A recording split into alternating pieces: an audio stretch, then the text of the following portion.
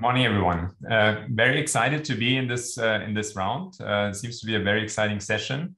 So my part will be to start with immunity that comes uh, first very early on. This, this is innate immunity, and uh, so I'll be talking about innate immune sensing of SARS-CoV-2 and how this principal mechanism can be used then um, to protect against SARS-CoV-2 and uh, in a broader sense also against other viruses and uh, how innate immune sensing affects uh, the design, development of messenger RNA vaccines and also the efficacy. So three, three parts, but uh, I'll start with uh, like first uh, the note that viruses uh, are detected by the innate immune system. And much of this detection goes on the ground of detecting nucleic acid. And uh, if a virus becomes a pathogen, it is already an expert in escaping uh, innate immune recognition and especially also escaping uh, innate recognition of nucleic acid.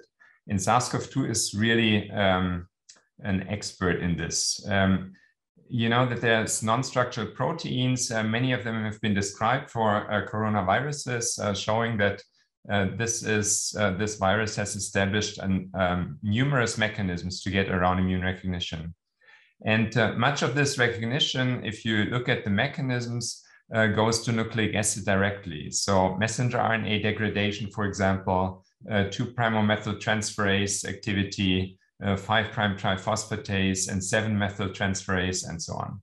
So these are effects that go directly on the uh, nucleic acid. So that already emphasizes that nucleic acid recognition is important.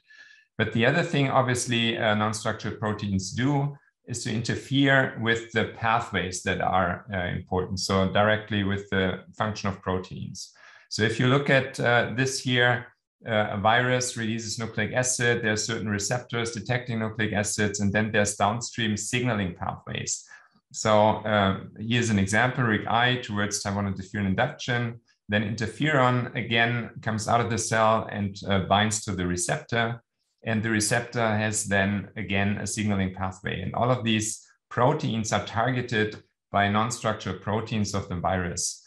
So targeting nucleic acid directly and the virus, uh, and this all comes together to a perfect immune escape. And compared to the other uh, coronaviruses, um, it has been found that SARS-CoV-2 is really uh, even better in escaping those immune responses. This is also emphasized uh, by uh, inborn errors of immunity that uh, are um, affecting certain components of the, of the system. So examples are uh, TOL3, then the IRFs, uh, and so on, TBK1. So different signaling components of these pathways, turning down the rest of the remainder of a uh, type 1 interferon response, if you uh, will. So um, nevertheless, it seems very important that um, the virus is recognized and that there's an early type 1 interferon response. And if this is the case, the viral load is transient, goes back, and there's no serious um, uh, infection uh, developing. So how does our immune system nevertheless uh, recognize uh, SARS-CoV-2? And this is the question we were asking. And one uh, easy thing to do and very straightforward thing to do is to take the virus, uh, isolate and put it on, on blood, on human blood. This is what we did, PBMCs here, so white blood cells. And you see that SARS-CoV-2, to our surprise, is very good at inducing type 1 interferon.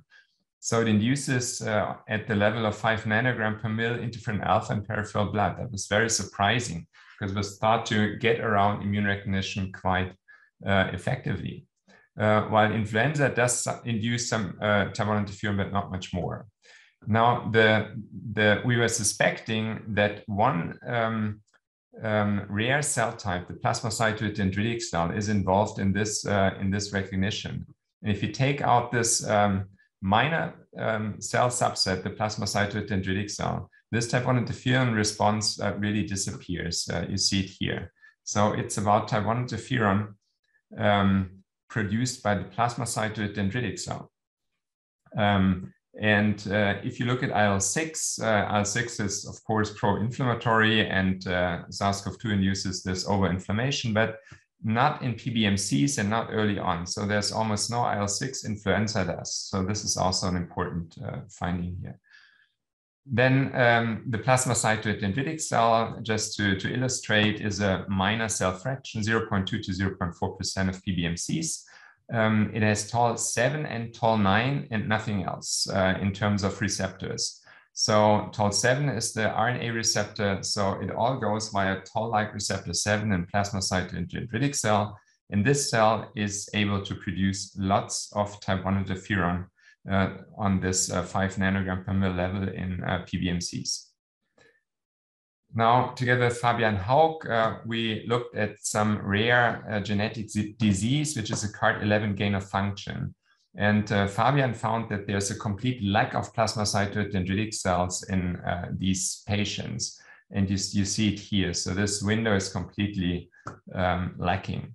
Um, and if you take the blood of these cells, dendritic cells or PBMCs, uh, SARS-CoV-2 does not induce any type 1 interferon. So reconfirming that uh, this really is the plasmacytoid dendritic cell that is responsible for type 1 interferon induction in the peripheral blood. Now, what about monocytes? Monocytes do not contribute to SARS-CoV-2 uh, induced type 1 interferon, as you can see here, while influenza uh, does activate type 1 interferon monocytes. Now, if we take out from PBMC the monocytes, it doesn't change the interferon induction of SARS-CoV-2. Um, and the other thing is that in monocytes, SARS-CoV-2 does not induce IL-6 again, so no inflammatory cytokines. Nevertheless, we found that monocytes are indeed infected, so we can we, we do find uh, the SARS-CoV-2 N protein uh, in CD14 positive monocytes. So there is something going on, but not type 1 interferon induction, not interleukin 6. And if you compare it here in the Venn diagram, uh, SARS-CoV-2 leads to a downregulation of uh, uh, dominant downregulation of factors, while influenza does lead to a dominant upregulation of factors. There's an intersection here, but uh, uh, it's really separate factors that are regulated. And uh, if you look here at the CAC pathways, um, of influenza versus SARS-CoV-2, there is a distinct um, picture here. So for SARS-CoV-2, for example, um, the, ribosomal pathways are heavily affected.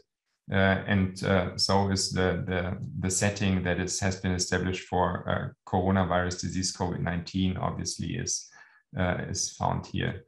Um, in monos, monocytes do also separate nicely if they are activated by influenza or SARS-CoV-2. So there's uh, almost no overlap here. And uh, in the in the heat map analysis, uh, in green is SARS-CoV-2, in blue influenza, you see that there's a separate, um, a different, a very distinct picture. So back to the plasmacytoid dendritic cell here.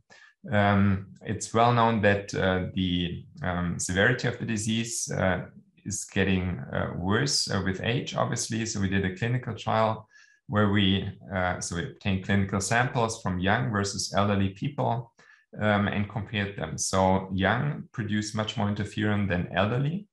Uh, this is no difference here for influenza. And these are just, just the controls. Um, now in uh, PBMCs, uh, here we have female versus male, so both have a decrease uh, with age of uh, interferon induction, while the PDC, if we isolate them, they do the same thing. So the PDC do not age, they're just less. So, so lower numbers of PDCs explain the lower type 1 interferon uh, induction in the elderly. So that was like the first part. Uh, the second part is now to explain a little bit about nucleic acid immunity. And um, the important thing is here to distinguish self versus non-self nucleic acid. So molecular structure is one thing. So triphosphate at the five prime end is a molecular structure that's being recognized.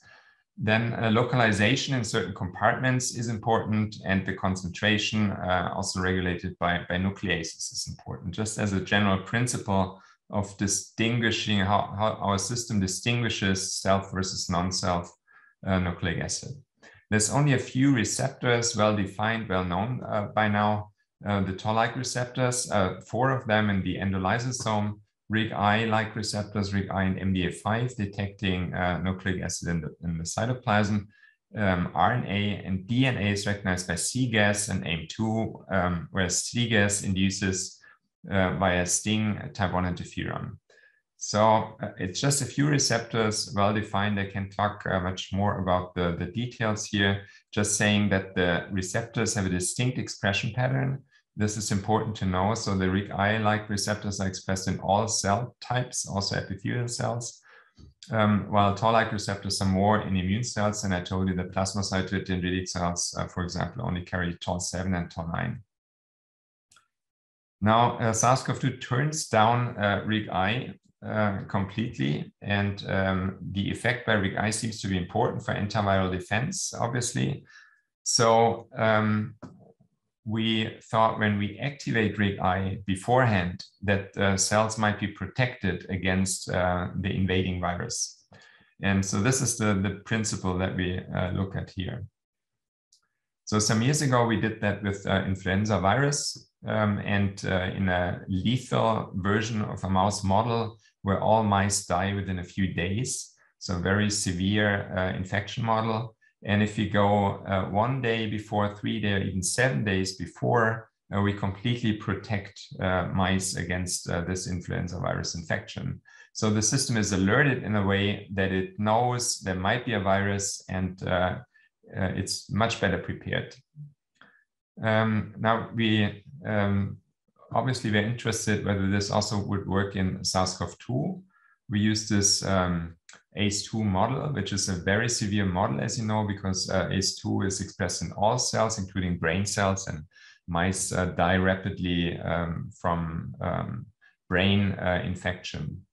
And so it's a very dramatic development. Um, so we challenge these mice. And beforehand, we inject uh, again the RIG-I ligand, which activates RIG-I, and then look at uh, different endpoints. The treatment by itself does really not affect uh, mice in, in that uh, dose that we used here, no weight loss. And you see that um, there's a highly significant improvement of survival uh, in these mice if we um, inject uh, and activate RIG-I systemically beforehand. Uh, if you look in swabs, um, there is much less um, virus antigen uh, be, being detected here, uh, one and two days post-infection. Um, also in the lungs, it's a, um, if you go directly in the lungs, it's a very prominent effect. So these are 3P RNA uh, treated mice and without, uh, there is much more virus in the lungs. And uh, if you go even one day after infection, uh, the effect is still quite uh, um, impressive that the virus concentration in the lungs and in the brain uh, is significantly down. Uh, now you can ask, well, uh, why RIG-I just taking Taiwan interferon might do the same thing, but it doesn't. So we uh, took a very high dose of type 1 interferon. We did a careful like dose uh, uh, analysis, and um, you see that interferon does not have this effect, and uh, RIG-I activation has this uh, significant effect in, in the severe infection model. So um, that was like more like a broad spectrum antiviral um, um, induction. And now we come to the last part uh, briefly is messenger RNA vaccines. Um, so Moderna, BioNTech, uh, how do they interfere here? And uh, just, um, I think this crowd exactly knows these things. So messenger RNA is generated by uh, polymerase. Polymerase leaves the 5' end with a triphosphate. Our own uh, RNA is kept, a cap1 structure. And exactly this cap1 structure, it looks like this. So N7 methyl guanosine capping and uh, methyl group at the N1 position here. Uh, exactly this is important because it completely abrogates immune recognition on the one hand, and it's used for messenger RNA vaccines. So this cap1 is put on by a co-transcriptional capping procedure which I won't go into the detail, it's all published, but it's important to know that this is a mainstay of messenger RNA development, um, the uh, CAP1 uh, structure that gets rid of RIG-I recognition. Um, and the second important thing that has been uh, used for messenger RNA development is TOL7, TOL8 escape.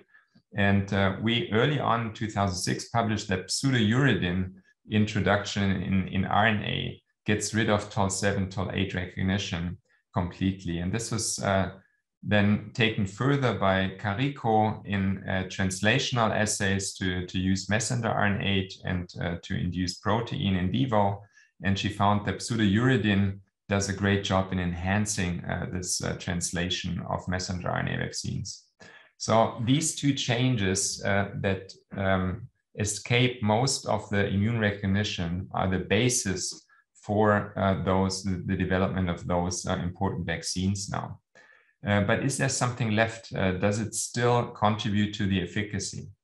Now, if you compare Moderna and BioNTech uh, in humans, so in a, in a small trial here, we see that both, um, if, if they are injected on the first and second day in these um, individuals, systemically induce a Taiwan interferon simulated gene score. And um, this is the, the uh, signal indicating that the 15 minutes are over. So. Okay, just just one minute maybe. Mm -hmm. um, now, if you take Moderna, BioNTech, and PBMCs and monocyte-derived macrophages, you see that uh, both activate uh, the system here. So they have a remaining uh, uh activity. And if we purify uh, these uh, vaccines, Moderna is already purified in that way um, to get rid of uh, contaminating RNAs that are um, um, formed during the, the in vitro transcription process. Um, BioNTech is not. And remember that BioNTech is more stimulatory that, uh, than Moderna. Um, but here both, uh, how does it look in vivo? Both induce systemic uh, immune responses, BioNTech more than Moderna, but both do. And uh, both systemic responses are dependent on one receptor, which is MDA5. This is one of the RIG-I-like receptors. And is this important for in vivo efficacy?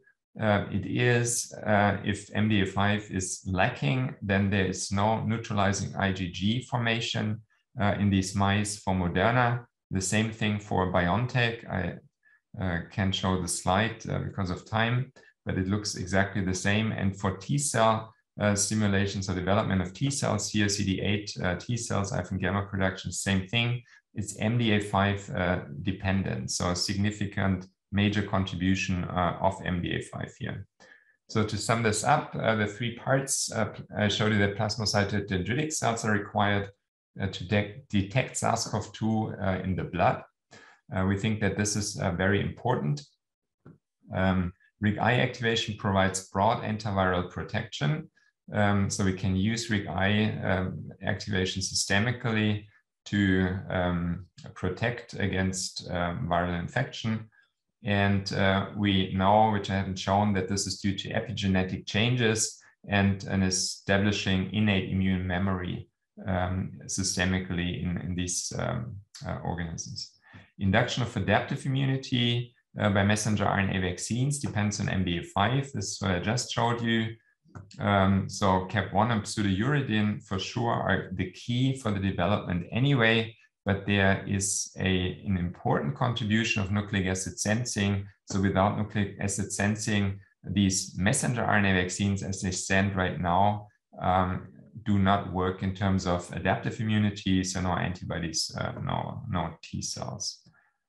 And yeah, finally, I'd like to thank uh, the highly motivated, enthusiastic uh, group here in Bonn, uh, in at, at, my institute, but also the Nucleic Acid Immunity SFB with the many collaborations uh, that we have established uh, between Dresden, uh, Munich, uh, Marburg, and Bonn.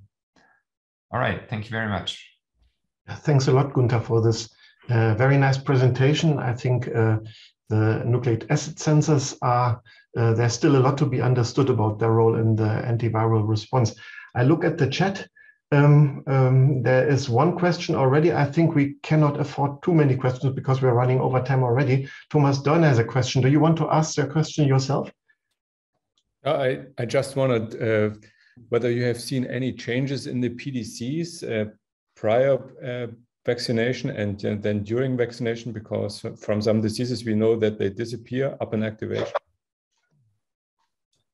Well, it's unlikely that they that they disappear. I mean, we, we have no data on this. Uh, we haven't looked, but it's unlikely because vaccination is primarily a, the stimulation by the messenger RNA vaccine is not a systemic one because you inject locally in the muscle. Um, and there, there are things going on, but uh, it's not that uh, I'm, I'm, pretty sure that they would not uh, deplete PDCs on a systemic level. Uh. That would be very surprising. Okay. Obviously, if they are simulated, they, they disappear like all immune cells uh, from the circulation, but there's not, not a systemic PDC activation by nucleic acid. There's just not enough RNA and it, it doesn't um, reach um, the, the blood. Okay, Christian Bogdan has also a question. Christian, please. Yeah, very nice, uh, Günther. I, am just uh, wondering about uh, the in vivo experiment and the in vitro experiment comparing the, the two vaccines. Uh, so this was uh, sort of dose titrated because of the differential concentration of, uh, of the mRNA um, in, in the uh, Spikevax as compared to Comirnaty vaccine. Um, was this considered when you compare comparing the different vaccines? Yeah, so we compared the two vaccines and the there's uh, different doses used. Yeah. Um, as you know, we use the same dose uh, in in the mice um, just to compare the immune activation on on the right level because we were interested whether uh, the BioNTech, uh, which is more stimulatory in vitro, would also uh, be more stimulatory in vivo, and and it is. And um, then we looked at antibodies. Um, so it was not different concentrations uh, used, but the the ones that we calculated uh, for um, Moderna. And what's the impact of the lipid, lipid nanoparticles in, in terms of inducing uh, uh, the innate response? Because I mean, both vaccines are extremely reactogenic in, in vivo. And yeah. uh, you know yeah. the findings you are you're showing are indicating that the TLR is, is not really playing a big role for that, and also the RIG-I, probably the MDA5. But uh, what about the lipid nanoparticles? So uh, MDA5 is the one in mice. Uh, we can't uh, tell about humans. It might be RIG-I in humans. Um, it looks a little different, but obviously it's it's uh, it's uh, difficult to to study in the same way than in mice. But MDA5 is critical, required. This is what we know, but that doesn't mean that other components are not required as well. LNPs um, really drove the whole development uh, recently, so they are super required for um, for uptake, uh, the formulation. And it has been published uh, that uh, toll-like receptor 2, I think, also um, contributes um, recognizing some components of the LNP. Yeah. Um, so it looks like there's uh, a twofold contribution. So without MDA5, it's not working, but uh, it might also just not work with uh, LNPs but it's difficult to test because uh, without LNPs, the messenger RNA wouldn't get there, which uh, it's supposed to go.